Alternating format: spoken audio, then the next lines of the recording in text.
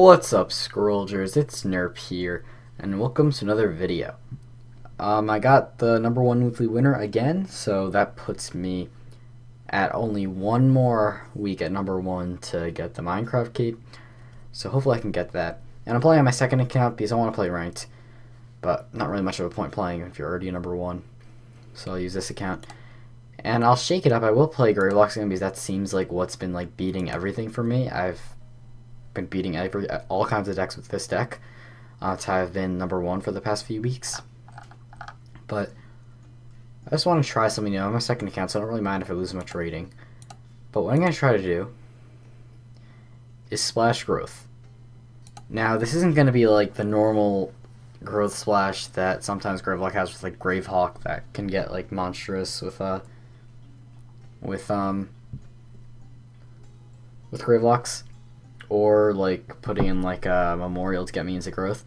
I'm just gonna have one ragged wolf. That's it. One ragged wolf. And uh, the reason for that is I kind of want to be able to use the Gravelock Outcast ability. I'm sure you all know Gravelock Outcast ability where if you pay one growth, he gets healed to full health. And in case you did not know, you cannot sacrifice for a resource that you don't have any scrolls of in the deck. So without this Ragged Wolf, I could not sacrifice a growth. I found myself playing the other day. I had a Gravelock Outcast, and I realized, oh, this is perfect. I'm just going to sacrifice for growth and heal it. But then I realized I couldn't sacrifice for growth. So here's the trade-off I'm making. I'm basically playing with a 49 scroll deck to give 3 scrolls in the deck an added ability. And also that added ability is very expensive because I have to like go into a whole nother resource to do it and sacrifice a card. So, but I've seen his uh, ability be really uh, tough. Uh, like for example, when I was playing a match um, a week or two ago, I was facing down a Gravelock Outcast. I was growth. He the, my opponent put Potion of Resistance on a Gravelock Outcast in the front row. I just couldn't bash in, and then out of, the blue, he just sacrifices growth. So he must have had some kind of growth scroll in the deck, and then just healed it up. So I could. So there's a constantly healing potion resistance outcast in the front. It was just terrible. So honestly, I don't think um, I don't think giving three Gravelock outcasts a really expensive ability is uh, worth having a 49 scroll deck. I mean, this isn't a total dead draw. I mean, maybe he can be useful. it could be if I go like Ragged Wolf match. It could be like a surprise. But yeah, I'm gonna try that, and I'm gonna take out. I don't know what I'll take out. I guess I could take out. Do we really need all these iron whips? Um, I'll go ahead and discard one of the power trips. So I'm gonna name this one uh heal. So this is just I just want to see if this maybe will help me. Honestly, we're probably going to get matched, and I'm probably not even going to have a chance to use the healing aspect. So it probably won't even matter. But whatever. So good luck, have fun, Istreon. And not the perfect starting hand, I don't have like that nice 2-drop. But uh, it's good enough because I can go with a 1-drop, and then I have a burn on turn 4, which is amazing. So next turn I'll probably have a dead turn, but he can't really put anything on the board right now, or I can move towards it. So he did not put anything on the board. I have to keep that Elder, so I'll get rid of the Violent Dispersal. I want to keep my curve up. One thing, a little annoying now that there's a growth scroll in the deck. Uh, there's this Ox on here, so I have to make sure I don't ac accidentally click on it. And next turn, I'll probably play the Snargle Omelet. Maybe we'll see an Outcast. So, we'll see what he has. He has a Spark, so unfortunately, that happened. Not a huge deal. Now, I could power trip into Gravelock Elder, but I don't think that is really a, a great play. I think I'd rather just play the Snargle Omelet. Play it in the back here. I won't use his protection. He'll just be there until it dies and might get me some scrolls. So now, hopefully, uh, Istreon plays something with 3 or less health. Stormrunner, Cannonetta, Outcast. Okay, Canada. That's perfect for a burn. Unfortunately, I'll have to sacrifice one of these awesome Gravelocks here. I'll get rid of the Freak. stay in the curve with the Elder, Elder and um, of course keeping the Elder is amazing because Elder makes Gravelock so good. Um, so unfortunately I don't have one extra resource so I, I'm not going to be able to play the Elder and use the Snargle at the same time. Okay, he has an Echomaton. So that thing is likely going to be able to bash my face in. Or I could go with an Iron Whip I mean, uh, here, I'm just going to play the Elder right here. We'll see what happens. Hopefully Istarion does not, doesn't draw his Violent Dispersals, because if I can keep those guys alive, that will be amazing for me. He's going for resources. What's he going to do? Play an Elder of his own? A Solemn Giant. Okay. So... Let's see.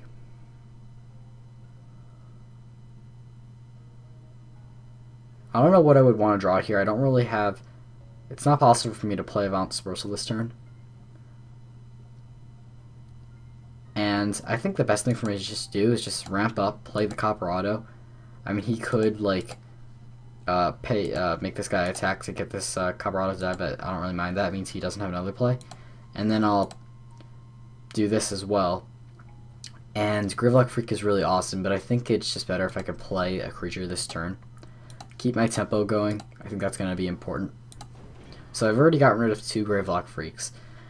Um, Gravelock Freak, probably the second best Gravelock in my opinion. Third best is probably the, this is the best. Then probably the Freak, and then the Guard with his cool Pillage effect. Alright, so he uses whole turn just to get rid of a Copper on. I am completely fine with that, and this guy still has only one attack, and I can just use the uh, another turn for for paying energy and getting more Gravelocks. And I could go with the Raider here and keep pumping. But I think I'd rather just have a strong creature because the Raider could get burned. It's in burn range against energy. And I'm going to let him just take out the Snargle Omelette at this point. It's done a nice job. I'll put you right there. And I'll just I'll just take the middle of the board. And we'll see if he wants to pump down his Giant to destroy that if he does, he'd likely want to have another play. So that's another problem with the Tom Giants in the early to mid game. They're just they're really just a hasted ten uh, a hasted ten drop. Okay, there's the first Violent Dispersal. That's unfortunate. But at least I'm gonna be have another turn of using the Snargle Omelet. And this guy I still haven't played a spell for that guy to use. Okay, and this time we can finally get a freak out. Uh I like I actually like my freaks in the middle. Against energy, it doesn't really matter if it's 3 drop in front because there's no veterans that'll come at you. They could have come with burn, so now he can burn me. I guess this whole time he could have burned that uh, omelet down there. But we're ramping up. We already have... Uh, we can actually get extra resources from you next turn. Okay, so he is going to pump this and this is going to die. So that's a little unfortunate because I would have I was going to have a lot of resources from this Uhu next turn. And potion resistance on you not a huge deal. I could Fury, that wouldn't accomplish much. I wish I had the Fury now. And... I am going to... See, I could put a Copper Automaton down. But then... I'm just going to hit Middle idol here. I'm just going to do nothing else. I'm not scared of anything you could do this to me this turn. Unfortunately, I didn't. I wasn't able to top deck like another Elder or some Gravelocks to play. Maybe that's what I get for using that omelet. Suck a lot of Gravelocks out of my deck. So he does move up. A Dust Runner, what does he have? Bombard and a Pump. Okay. So, I guess I guess that's a thing. I don't think that's a huge deal though. So I can't kill you. I, will just I just won't raise your attack, I guess. Um, I think the Thunder Surge is actually going to be pretty useful, so I'm, I'm also going to keep the Copper Automaton. Two Copper Automatons. Hmm. You see, maybe this hurt me here by having the Ragged Wolf in the deck. That's, uh, this scroll could have been like an elder that I could use right now.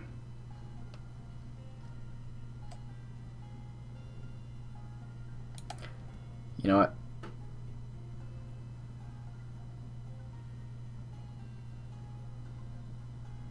Let's make sure this freaking thing dies. I don't really like playing two scrolls like that, such a thing. But, you know. If he displays a potion of resistance now, I'm going to be really upset.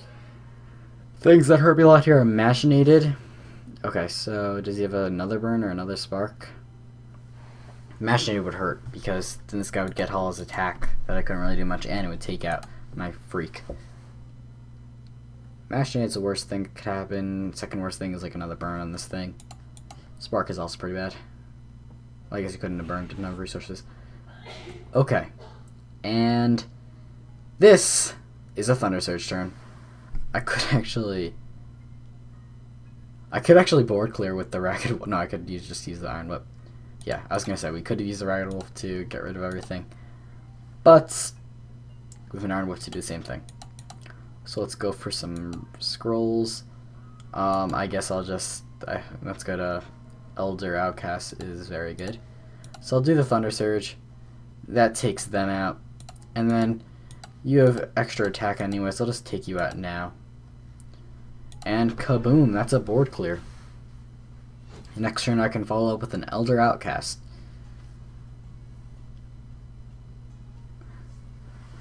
That was a very good Thunder Surge. He could have played around that if he just moved his like uh didn't like clump up like that in that like snake formation.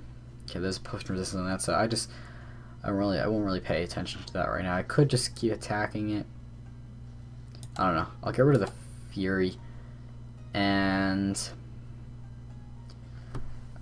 I could go Brood Outcast, I can go Elder Outcast. I kind of want to get the Brood out because I'll just keep attacking. And then Istarion has to slow down and get rid of it. But then I would play the Outcast and that would be in burn range. By playing Elder Outcast, nothing be, nothing is in burn range. So I'll do that. And with since you're to have 4 attack, I think I'd rather hit Nidal. Um, and I know you have. I'm gonna stay in formation like that. I know he has Solemn Giant, so I'm a little afraid of like his Solemn Giant. That's why I didn't want to leave my Elder open. But I am a little vulnerable to like a Stormrunner Bombard Machinated here. Plays an Elder of his own, which actually works well with my Freak because I can get my Freak to attack by just damaging his Elder. So you have to be a little wary about playing Elders when you're playing against a Gravelock deck. Obviously not if you were playing a Gravelock deck too, but if you're like a mono entry range deck that uses Gravelock Elders, Elders, be hesitant to play one if you see a Freak on the board.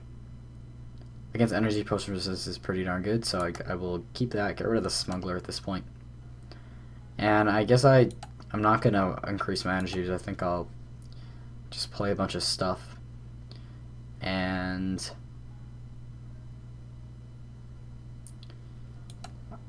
I guess I'm just gonna... Maybe I could win soon, I don't know. Play the guard. And... I could push this and see or I could smuggler. Let's just potion. I'm gonna potion the elder in the back. I don't want him to get I don't want him to get uh violent dispersal. Hopefully he gets violent dispersal anyway so that uh Istarion just wastes balance person. I've seen that happen way too many times. People just click away, think it's gonna die, but then it doesn't. I've I've made the mistake too. Oculus Cannon, Bombard, I guess. Oh, another Oculus Cannon. That's a pretty good. That's a that that hurts me quite a bit. I think I can. I think I'm okay though. Especially that I just drew another Elder. Uh, hmm. Now, playing another Elder this turn doesn't really do much for my health values because you get to 3, which would actually be good. I think I'd oh no, I can't even play this Uhu, never mind. I was gonna say. So, let's just scratch that. Let's get out of, uh, let's get out of there. So that was actually, that was a, that was a very uh, big turn for him. I could jumble up for a Thunder Surge. You know, screw it. I'm going to do it. Actually, no, I'm not going to. Okay. So now that Elder's burnable this turn, hopefully he doesn't top deck a, a Bombard. He is top decking, he just has two scrolls, he had no idea what it was going to be. And he just pumps, and hopefully not a Violent Dispersal on the front Elder. No, just a Dust Runner. Okay, nice. Now give me another Thunder Surge. Freak. No, I'd rather not. Oh, okay, now we got a Fury. Fury is pretty darn good.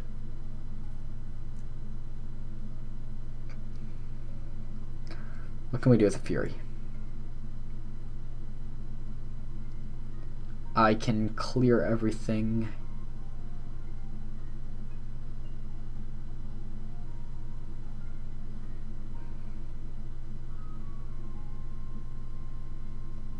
I, I, there might be a big play I could do here with Fury and a Freak and all that stuff. But it's probably... It's probably wiser for me to just play Guard and then Fury. See, that's what I'm going to do. I am jumbling up a little bit with Thunder Surge, though.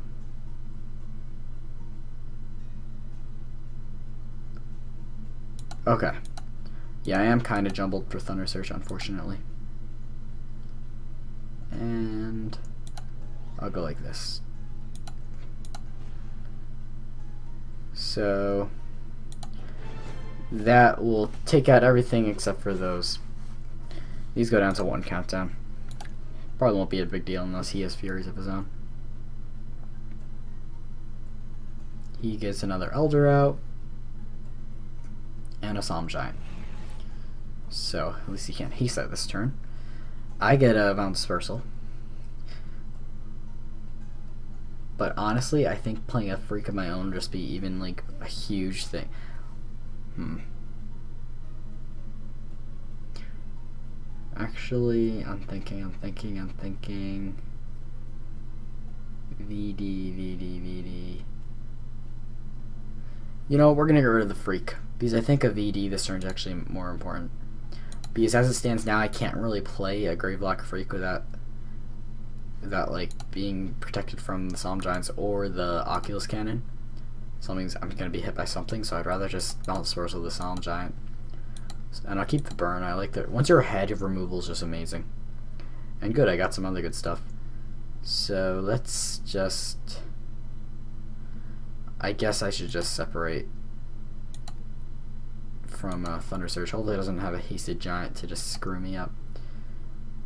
And I'll put down a Raider. Actually, I'll put Push Resistance on you so you can't get uh, destroyed by a Violent Dispersal. And now I can make a burn then Oculus Cannon next turn. So things are looking pretty good. And I've yet to have to heal you So there's a burn on him. That's annoying because he was going to go off next turn, but I've still a little scrolls. I probably wouldn't need the extra energy from him anyways.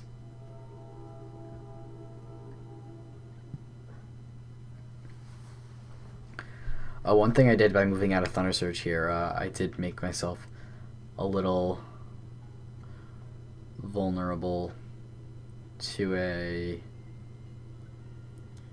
No, I, I if I stayed down here, I would have been able to move down easier and destroy the stuff down here. So if I sacrifice Rose, draw Fury, I'd actually win. But I think it's better we just burn. Power Trip is good, but not not right now. Another burn. Well, let's take out middle idol.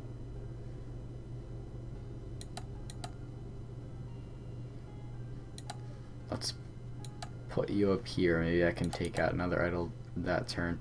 And may as well just do that. Because you you won't even die as it stands from this Oculus Cannon, and I'm destroying a 5-drop. Like, you shouldn't always be afraid to move into an Oculus Cannon, because honestly, that was probably worth it for me. I destroyed his 5-drop, and my 3-drop doesn't even die as it stands. And right now, I would win next turn if this is uh, maybe he has a Stormrunner Bombard Mesh now, which I am pretty fine with it. I could just burn that next turn and it would only get rid of like Gravelocks that aren't as important. I have my Elders staying alive. Okay, he, he was able to do that too, so that is actually pretty pretty big. If I can get a Machinator of my own, I'll be able to win this turn. That is a win.